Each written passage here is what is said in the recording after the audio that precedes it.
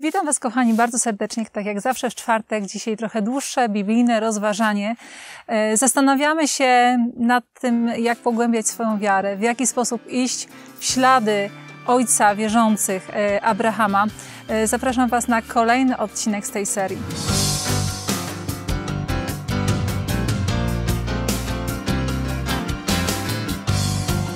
Dzisiaj cały dzień pada i staram się wstrzelić z tym nagrywaniem tak, żeby pomiędzy deszczami e, mi się udało, chociaż prawdopodobnie za chwileczkę też zobaczycie deszczyk. E, ale cudownie jest, kiedy rozmawiamy o Bożych sprawach właśnie w takim otoczeniu, gdzie jest przyroda wokół nas. E, I tak sobie wyobrażam, że ten Abraham, który usłyszał Boży głos i poszedł za nim, był otoczony, zanurzony w takiej przyrodzie, gdzie nie było wpływów miasta, hałasu, jakiejś szybkości, nerwowości, taka E, takiej krzątaniny, która jest teraz. E, I myślę sobie, że no było łatwiej, pewnie było łatwiej. A z drugiej strony prawdopodobnie każdy wiek, każda epoka ma swoje plusy i minusy. E, I to nie jest tak, że Pan Bóg nie daje nam takiej pomocy z góry i łaski, kiedy szukamy Jego twarzy, kiedy chcemy być blisko. Nawet teraz, w XXI wieku, kiedy może się wydawać, że jest tak wiele różnych rozpraszających nas czynników, kiedy zaczynamy Jego szukać i wsłuchiwać się w to, co On do nas mówi, On przychodzi z pomocą naszej słabości i daje siebie znaleźć. No więc, kochani, dzisiaj otworzymy sobie 15 rozdział Księgi Rodzaju, pierwszej Księgi Mojżeszowej. E, I tak jak Wam obiecałam tydzień temu, Dzisiaj jest najbardziej soczysty e, kawałek. Przynajmniej w moim przypadku, e, rozważając e, całe życie Abrahama i różne ciekawe wydarzenia, które miały miejsce mm, właśnie za jego czasów, widzę, że jest taki pewien kulminacyjny moment i tym momentem według mnie jest właśnie 15 rozdział Księgi Rodzaju. Czytamy tutaj po tych wydarzeniach słowo Pana doszło do Abrama w widzeniu. Nie bój się, Abramie, ja jestem Twoją tarczą i Twoją niezmiernie obfitą nagrodą. Kocham ten przekład uspółcześnionej Biblii Gdańskiej, ponieważ on tutaj oddaje, ten akcent kładzie na to, że Bóg mówi o sobie. W innych przekładach ta myśl jest oddana w ten sposób, że Pan Bóg chce błogosławić Abramowi i dać mu nagrodę, ale nie jest tak wprost powiedziane, że to on jest tą nagrodą. A tutaj widzimy, że Bóg e, próbuje tego Abrahama, który jest tak mocno skoncentrowany na tym, żeby mieć potomka, mieć potomka, żeby jego główne, najważniejsze pragnienie zostało zaspokojone.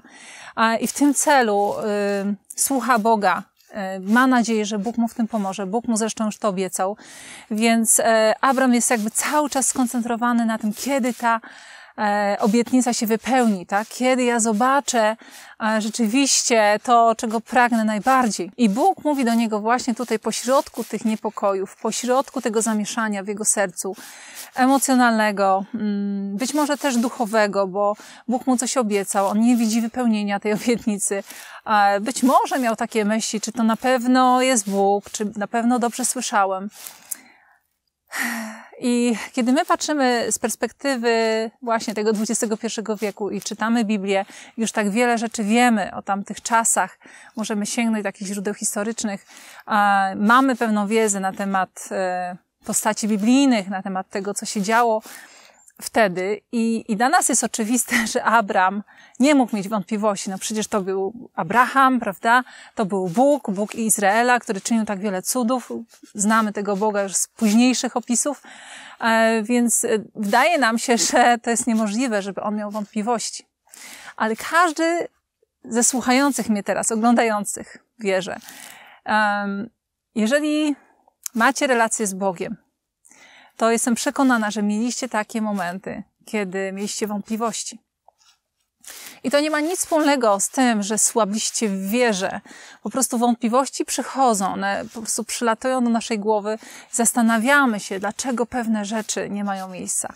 E, dlaczego Bóg, który coś obiecuje, wydaje się, że się nie pojawia, że, że nie widać, nie widać Jego działania. Dlaczego to wszystko tyle trwa, albo dlaczego Bóg czyni rzeczy inaczej niż my tego oczekujemy. I te takie zastanawianie się, rozważanie tych rzeczy mm, nie musi prowadzić nas do niewiary, o ile w tych rozważaniach zwracamy się do Boga, przychodzimy do Niego. I tutaj widzimy, że Bóg e, zna te wszystkie napięcia, które są w sercu Abrama i przychodzi do niego w nocnym widzeniu i mówi do niego: e, Nie bój się, Abramie, ponieważ wie, że Abram już ma swoje lata, już e, robił pewne rzeczy, już wie, że dzieci w pewnym wieku się nie rodzą, wie, że pewne rzeczy są niemożliwe i, i rozumie, że Bóg, jeżeli jest Bogiem i skoro Bóg do niego mówił, Bóg już coś dla niego zrobił, bo czytamy od 12 rozdziału, że już bardzo wiele rzeczy Bóg dla niego zrobił,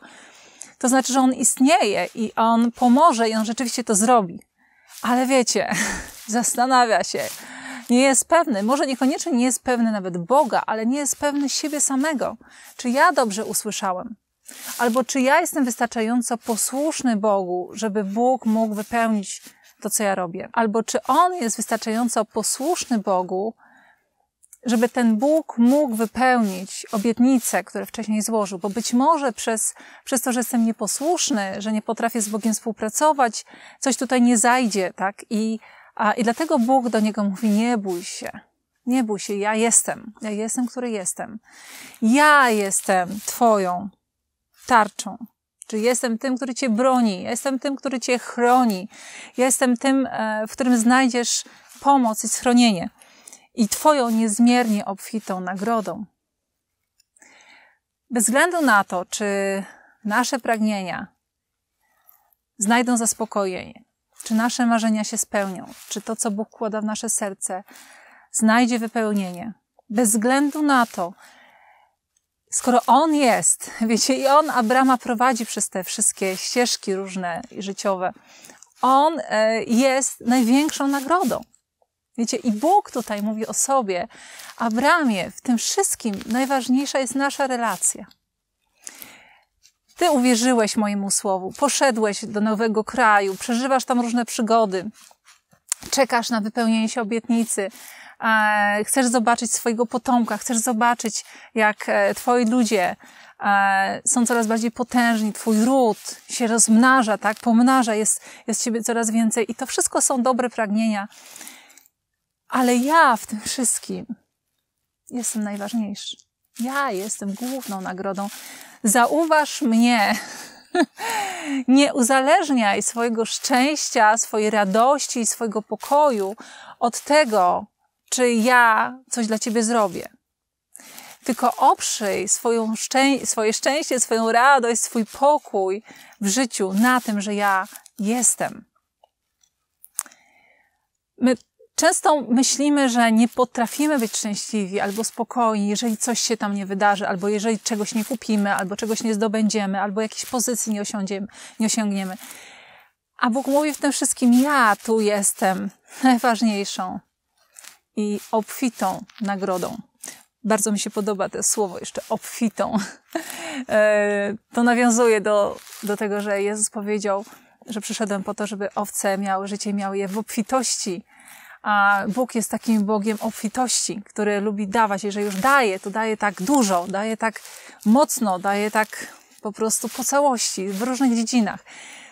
On jest Bogiem, który daje maksymalnie, ale, ale On jest najważniejszą częścią. I, I wiecie, my rozważamy życie Abrahama, ale Duch Święty mówi do nas przez te słowa i mówi, mówił wtedy do Abrama, przypominając mu, co jest najważniejsze, i mówi również do nas, że w tych wszystkich różnych życiowych zmaganiach, e, w tych naszych problemach, ale też w naszych sukcesach, Bóg jest najważniejszą częścią. I ani przygnębienie nie może być e, jakby dominujące w nas, ani radość i szczęście związane z jakimś sukcesem nie mogą przyćmić, nie mogą zasłonić nam Jego osoby. On przypomina Abramowi: Ja, ja jestem Twoją nagrodą. Nie bój się. Te wszystkie inne rzeczy, one nie są tak naprawdę ważne, bo ja jestem w Twoim życiu. Ja Ciebie prowadzę, Ty mnie słuchasz. Mamy relacje. Jesteś moim synem, jesteś moim przyjacielem. Możemy rozmawiać, możemy się komunikować. I z tego powinna płynąć Twoja radość, Twój pokój. Nie powinieneś się bać już niczego ani nikogo, ponieważ ja jestem z Tobą. Wiecie, to jest tak głęboka prawda, że chciałabym tutaj spędzić następną godzinę, żeby powtarzać te słowa. Ja jestem, ja jestem, mówi Pan, ja jestem Twoją obfitą, przeobfitą nagrodą. Ja jestem najważniejszy dla Ciebie. Ja pragnę być najważniejszy. To jest takie serce Ojca, które dopomina się uwagi, dopomina się zrozumienia, co w tym wszystkim zachodzi, tak? Co tu jest sednem? sednem nie jest to, żeby Abram miał dziecko i żeby ten ród się rozmnożył, chociaż są to plany Boże, ale, ale najważniejsze w tym całym religijnym krzątaniu się, że tak powiem, czytaniu Biblii, modlitwie, społeczności, służbie innym ludziom, te wszystkie chrześcijańskie, że one są ważne, one mają swoje miejsce, ale musimy zapamiętać, co jest centrum, co stoi w samym środku. W samym środku jest Bóg. I, um, i nasza tożsamość, i nasze poczucie spełnienia, poczucie wartości, poczucie sensu życia, musi leżeć w nim, w relacji z nim. I ja sama wiecie o tym, że nauczam i prowadzę szkołę internetową, która pomaga chrześcijanom e, odnaleźć swoją drogę życiową, znaleźć, zrozumieć powołanie, to jak Bóg się z nami komunikuje, e, rozpoznać tą ścieżkę, pójść za tym głosem, tak jak Abram, wypełnić to, co jest do wypełnienia. Czyli robić, tak? Zrobić, nie tylko wierzyć i zrozumieć, ale też zrobić. Nauczam o tym dużo, bo wierzę w to, że każdy z nas ma robotę do wykonania. E, każdy z nas został stworzony w Bożym zamyśle po to, żeby być e, unikalnym i żeby wnosić unikalną wartość na ten świat. Nie tylko będąc, ale również czyniąc tak, jak czyni nasz Bóg. Ale, ale nawet w naszej szkole internetowej mamy cały moduł na samym początku, e, poświęcony cały miesiąc, w którym rozważamy to, kim jesteśmy w Bożych oczach. I, I rozważamy to, jak możemy mieć głębszą relację z Bogiem, dlatego że to, do czego głównie zostaliśmy powołani, przede wszystkim, to jest właśnie do relacji, do miłości. Zostaliśmy stworzeni dla naszego Boga, do miłości. Nas stworzył Bóg. Pierwszy rozdział listu do Efezjan. On nas stworzył z miłości i do miłości, i dla miłości, i dla siebie. Jesteśmy powołani, żeby być Jego dziećmi i po prostu być. I nawet jeżeli nie możemy nic zrobić, to możemy być. Być z Nim, być przy Nim, być obecnymi i odczuwać Jego obecność.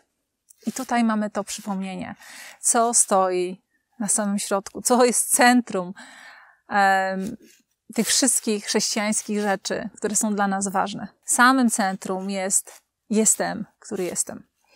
E, I z tą myślą chcę Was zostawić, e, żeby ona skruszyła te wszystkie niepokoje, te wszystkie lęki.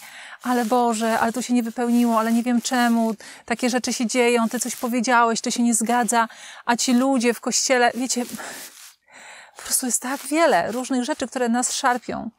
E, ale teraz też wiele rzeczy, które nas pociągają niekoniecznie złych czy jakichś złudnych, ale dobrych, że chcemy coś robić, e, chcemy działać, chcemy mieć satysfakcję z naszej pracy.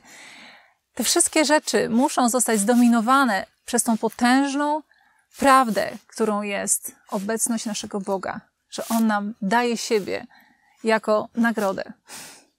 I tam w niebie, kiedy już trafimy do Niego, kiedy e, On przyjdzie po nas po raz drugi, zabierze nas do siebie, to on tam będzie główną atrakcją. On tam będzie tym, e, który będzie tą nagrodą, którą będziemy chcieli kosztować i być z nim bliziutko cały czas. Rozważmy to, kochani, e, skupmy się na tym, przypomnijmy sobie, ponieważ on, to on właśnie przypomina nam przez ten werset: Ja jestem Twoją przeobfitą nagrodą. Amen. E, błogosławię Was, kochani. Dziękuję za wysłuchanie, za obejrzenie tego odcinka. Zapraszam do następnych serii o Abrahamie. Budujmy naszą wiarę e, i do zobaczenia za tydzień. Pa, pa.